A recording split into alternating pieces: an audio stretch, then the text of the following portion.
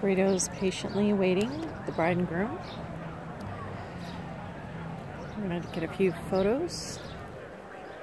And then